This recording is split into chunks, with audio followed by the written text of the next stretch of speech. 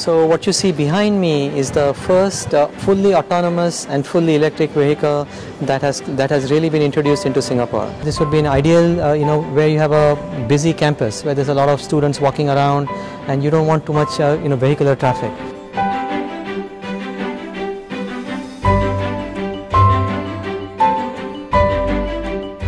So this vehicle runs at about uh, 12 to 15 kilometers per hour, so it is slow enough uh, that and, it can detect traffic, it can detect humans, it can detect uh, you know animals, it can detect any uh, any other obstructions, and it will it will stop uh, if it de detects any obstructions.